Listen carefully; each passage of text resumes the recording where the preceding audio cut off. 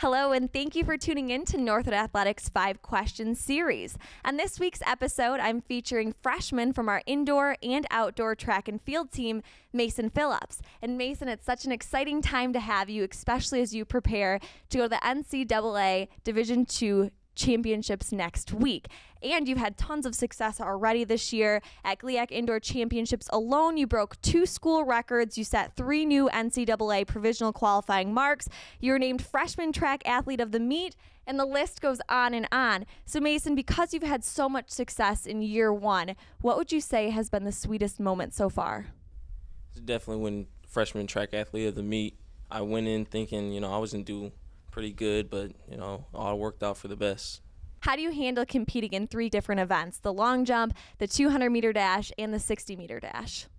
It's a lot of training, eating right, and definitely staying focused. What are you doing to prepare for championships next week?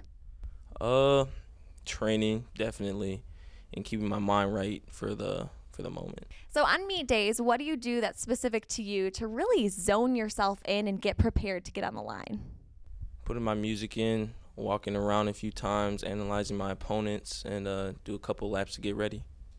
Anything to just break the stress and be prepared.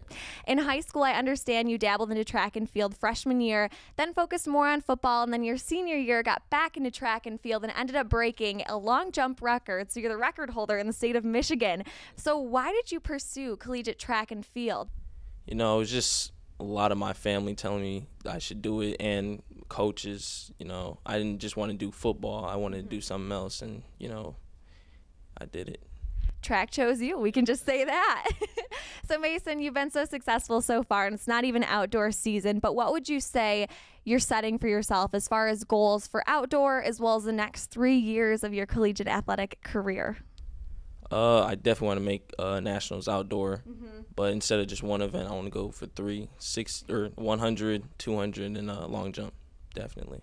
Excellent. Well, good luck to you next week as well as in your future. Thank you for being here today. And make sure to stay tuned for all of the updates on spring sports at www.gonorthwood.com. Thank you.